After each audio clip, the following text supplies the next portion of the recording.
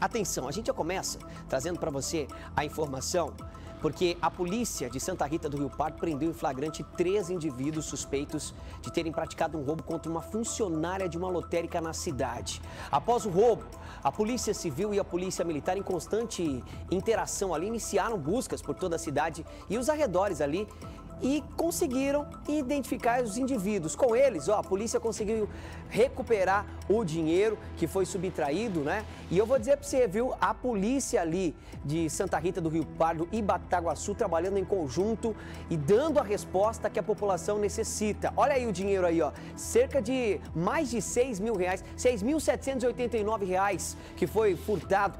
Dessa furtado não, né? Foi roubado, porque os indivíduos chegaram lá, mão armada, meteram o canhão, falaram, ó, passa aí o dinheiro e tal. Mas isso aí, meu querido, é o que a gente fala no meio policial, é a tal da fita dada, né? Alguém já estava de olho ali, passou a fita para os bandidos e os bandidos foram lá e fizeram essa, esse roubo aí, mas não deu certo não. A polícia chegou, conseguiu apreender eles e conseguiu recuperar esse dinheiro aí, menos prejuízo aí para o dono da lotérica, né? E prejuízo foi para esses bandidos que estão presos. Parabéns à Polícia Civil, à Polícia Militar em conjunto trabalhando aí, prendendo esses indivíduos e devolvendo o dinheiro ao cidadão de bem, aquele que trabalha, né? Às vezes o cara trabalha, trabalha, trabalha para abrir uma lotérica o cara vai lá, mete o canhão, rouba o dinheiro do dia, né? E acaba se dando mal depois, né? Ele se dá mal depois porque a ação da polícia aqui no Mato Grosso do Sul é efetiva. Mais uma vez, parabéns aos policiais.